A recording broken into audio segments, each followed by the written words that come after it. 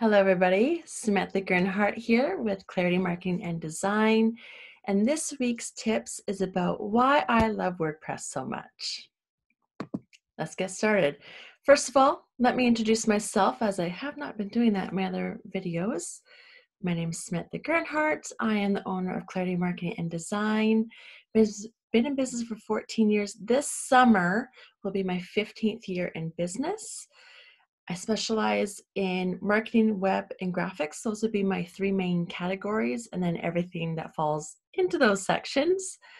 My background education is marketing management, applied web development, and graphic courses. I currently live in Brantford. I grew up in Ontario and then I lived in BC for about 17 years and a little bit throughout BC. And now we're back in Brantford. And I'm a busy mom to three kids who are all at home right now. okay, so before I talk about why I love WordPress, I think I need to maybe explain what WordPress is, even though it is very popular, it's heavily used, but just in case for those people who don't quite know what WordPress is. So, WordPress is a free open source content management system. Now, you might be like, what? So, let's break that down free open source. It is free to download, to install, and use. You don't have to pay for WordPress itself. And then the content management system means you can update and maintain your website without having to learn code. And if you know a little bit, then that's great, but it's not necessary. Top five reasons I love WordPress. One, it's a coder's playground. Two, has hundreds of themes and plugins. Mm. Three, it's really user friendly. Four, endless support. And five, it can grow with your business. So let's dive deeper into each of these. So it's a coder's playground.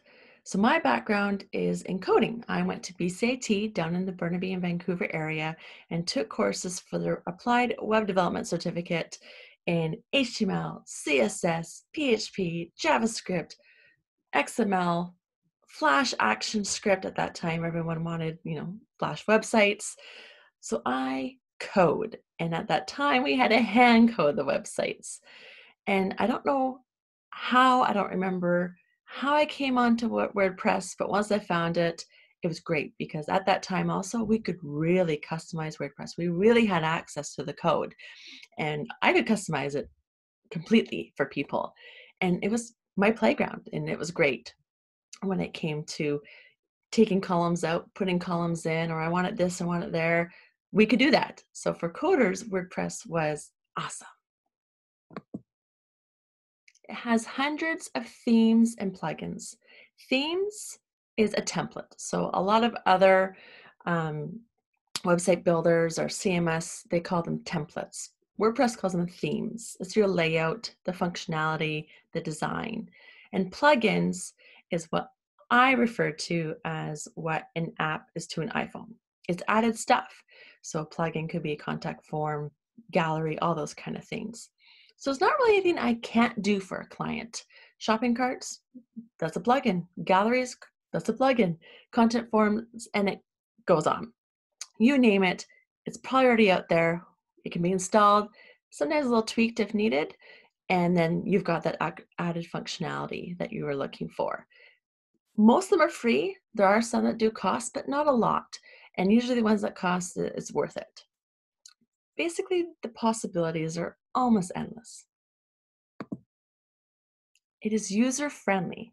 And that's what I love about WordPress that I can create a website and train my client after so that they can go in and change that sentence, change that price, upload a blog.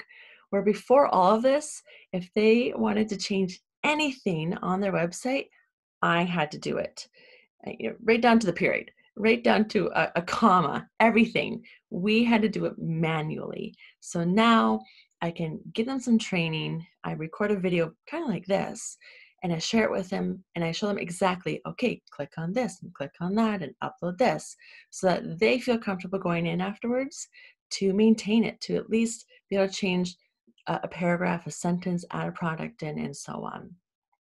And I would say if you can use email or Word, you can use WordPress.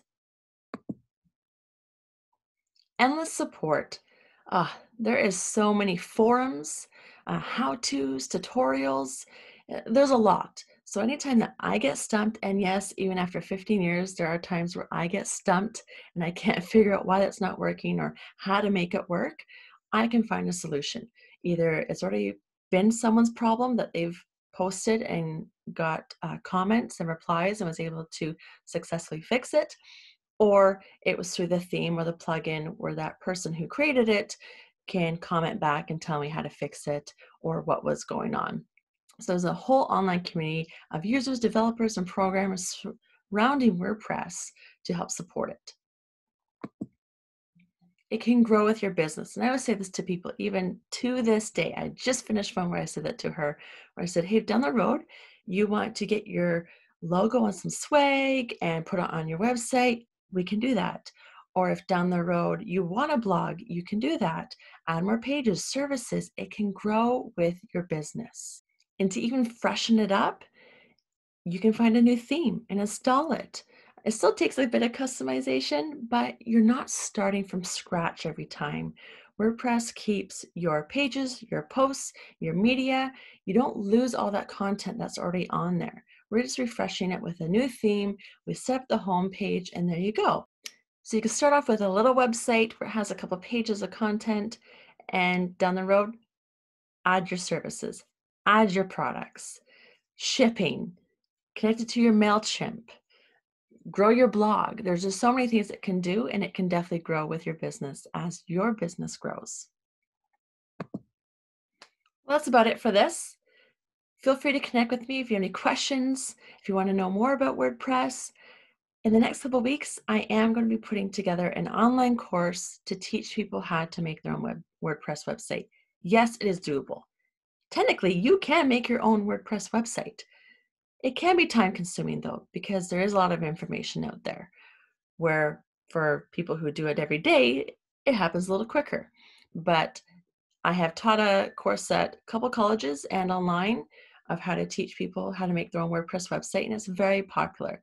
And so I'm in the middle of doing that again, uh, refreshing it, getting up to date with the technology.